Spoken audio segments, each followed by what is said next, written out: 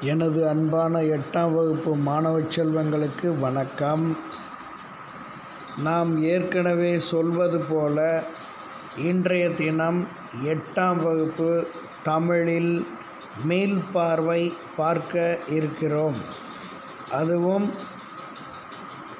இந்த எட்டாம் வகுப்பில் ஒன்றாவது இயலில் உள்ள சரியான விடையை தேர்ந்தெடுத்து எழுதுதல். அதற்கு முன்னால் மனப்பாட பாடம் சொல்லும் பொருளும் சரியான விடையை தேர்ந்தெடுத்து எழுதுதல். இந்த கேள்வி வினாக்களை மட்டும் பதிலையும் சேர்த்து மீள்பார்வை செய்ய இருக்கிறேன். மாணவர்களை நன்கு கவனியுங்கள். தமிழ் மொழி வாழ்த்து. மனப்பாட பாடல். வாழ்க நிரந்தரம் வாழ்க தமிழ்மொழி வாழிய வாழியவே.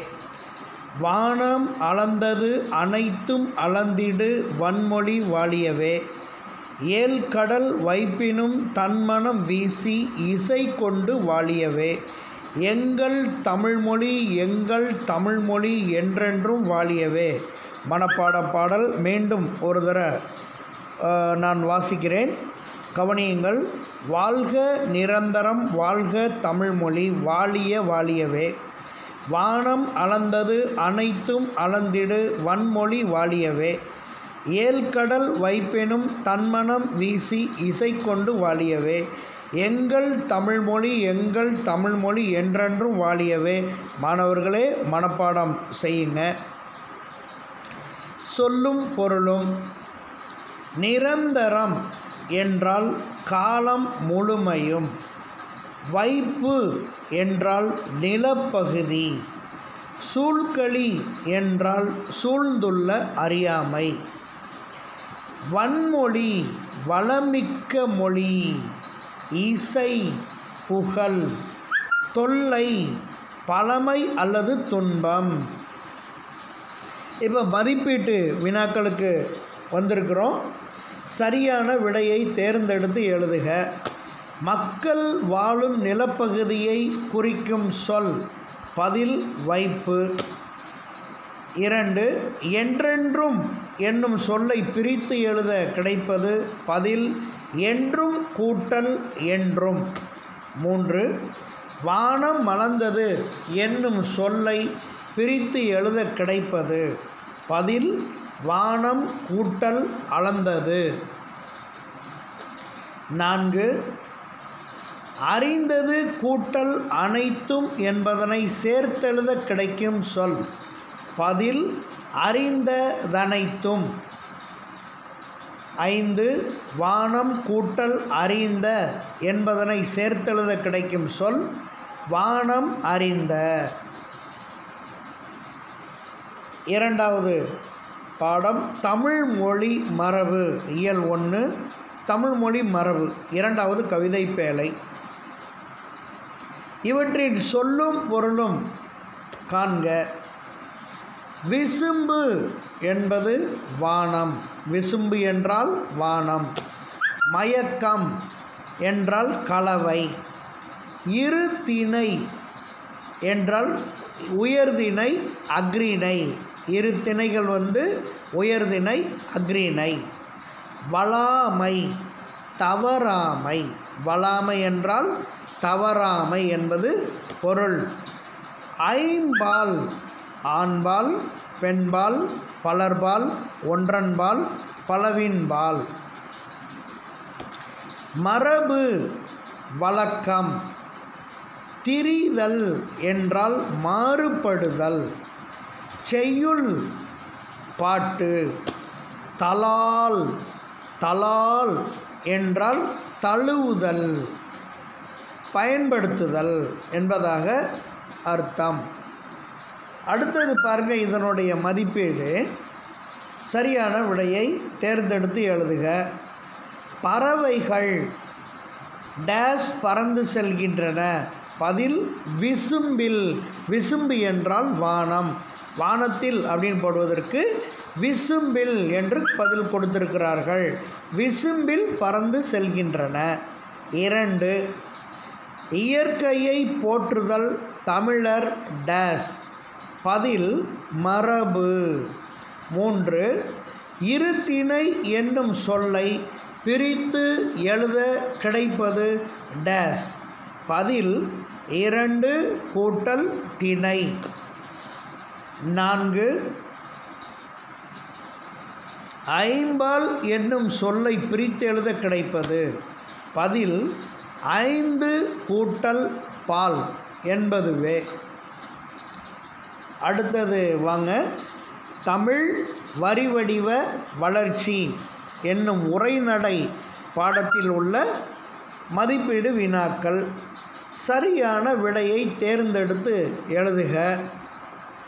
முதல் வினா தமிழ் எழுத்துகள் இப்போதுள்ள நிலையான வடிவத்தை பெற டேஸ் காரணமாக அமைந்தது. பதில் அச்சுக்கலை.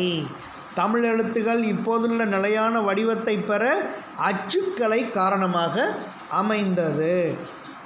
இரண்டு வளைந்த கோடுகளால் அமைந்த மிக பழைய தமிழ் எழுத்து டேஸ் என அழைக்கப்படுகிறது. பதில் வட்டெழுத்து.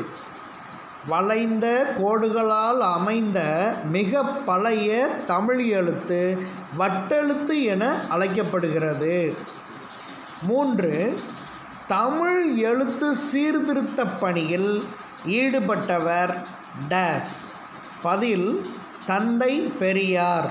தமிழ் எழுத்து சீர்திருத்த பணியில் ஈடுபட்டவர் தந்தை பெரியார். அடுத்தது கோடிட்ட இடத்தை நிரப்புக. ஒன்று கடைச்சங்க காலத்தில் எழுதப்பட்ட தமிழ் எழுத்துகள் டேஸ் என அழைக்கப்பட்டன. பதில் கண்ணெழுத்துகள். கடைச்சங்க காலத்தில் எழுதப்பட்ட தமிழெழுத்துகள் கண்ணெழுத்துகள் என அழைக்கப்பட்டன. இரண்டாவது கேள்வி எழுத்துக்களில் புள்ளிகளால் ஏற்படும் குழப்பங்களை கலைந்தவர் டேஸ். பதில் வீரமா முனிவர். எழுத்துக்களில் புள்ளிகளால் ஏற்படும் குழப்பங்களை கலைந்தவர் வீரமா முனிவர். இப்போ இலக்கண பகுதிக்கு வந்துட்டோம். இயல் ஒன்று எழுத்துக்களின் பிறப்பு. கற்கண்டாகிய இலக்கணத்தில் எழுத்துக்களின் பிறப்பு. இங்கே சரியான விடையை தேர்ந்தெடுத்து எழுதுக. ஒன்று இதழ்களை குவிப்பதால் பிறக்கும் எழுத்துக்கள் டேஸ் பதில் உ ஊ இரண்டு ஆயுத எழுத்து பிறக்கும் இடம் டேஸ் பதில் தலை. வள்ளின மூன்று வள்ளின எழுத்துக்கள் பிறக்கும் இடம் டேஸ் பதில் மார்பு.